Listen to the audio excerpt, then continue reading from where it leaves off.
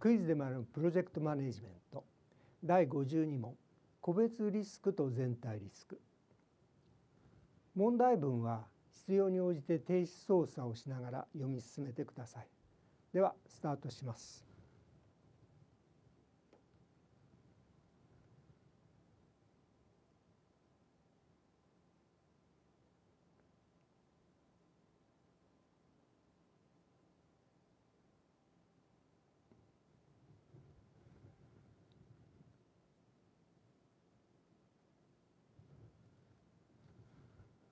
はい。解説を見ていきましょう。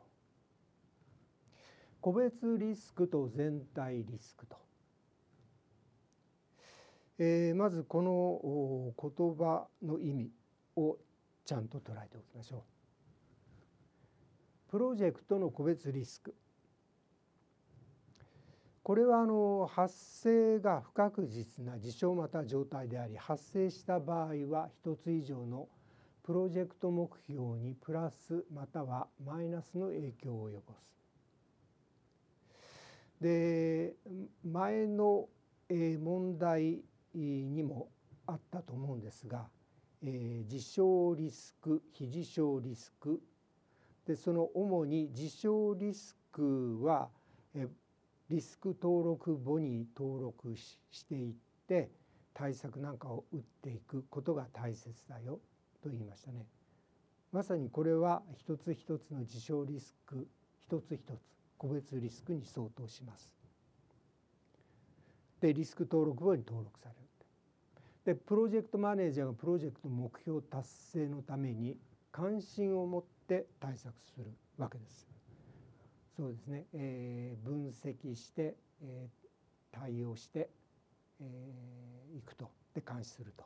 いうものですね。プロジェクトの全体リスク、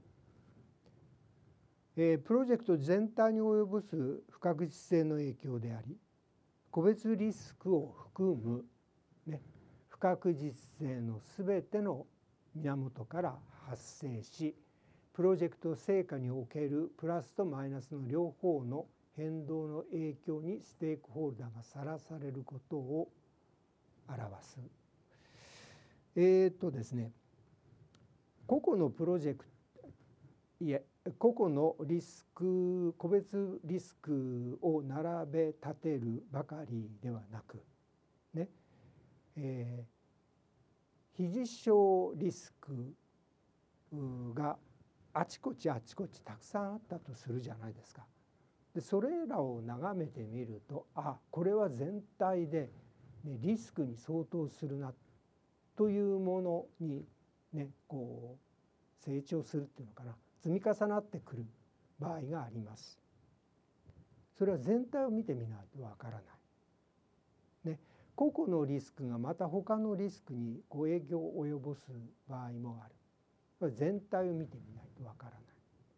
い。ね、特にこの全体を捉える全体リスクを捉えるっていうのはこのプロジェクトマネージャーもそうなんですが上位のプログラムマネージャーポートフォリオマネージャーがあのプロジェクトどういう状況なんだこのプロジェクトとどういう違いがあって、えーと、資源を投入すべきかどうかっていう時にで個々のプロジェクトプロジェクトの個別リスクに注目するんじゃなくてやっぱり全体を見るでしょ。このプロジェクトのリスクはあ非常に高いな、ね、ということが分かると思うんですね。これはリスク登録簿ではなくてこれリスク報告書っていうのにプロジェクトマネージャーまとめていくべきですね。で使われ方の一つとしてプログラムマネージャーポートフォリオマネージャーが戦略達成の構成要素として関心を持つことになります。プロジェクト全体についてリスクはどうなのかっていうことを述べることになるからですね。さあリスク報告書っていうのがありました。これはプロジェクトの全体リスク要因の情報それから個別リスクの要約の情報を記録します。リスクマネジメント全体を通じて通じて順次追加詳細化されます。まあ、一度作ればいいっていうもんじゃないリスクはどんどん変化していきますから状況は変化していきますからね。定量的分析というプロジェクトの成功の可能性が確率で示される主にあの確率的に示されることが多いですね。このプロジェクトの成功確率は成功、確率はどれぐらいだよ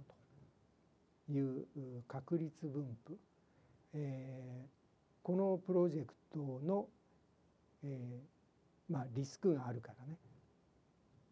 確率的に示すことが多いです。そして、えー、このリスク報告書っていうのは、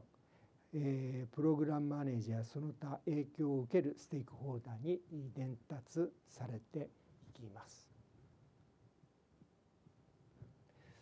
ということからですね、えー、と問題文にその一つ目をプロジェクトマネージャーに提出プログラムマネージャーに提出するつもりだと。まあ、プログラムマネージャーにとって喜ばしいのはリスク登録簿よりもリスク報告書の方ですね。はい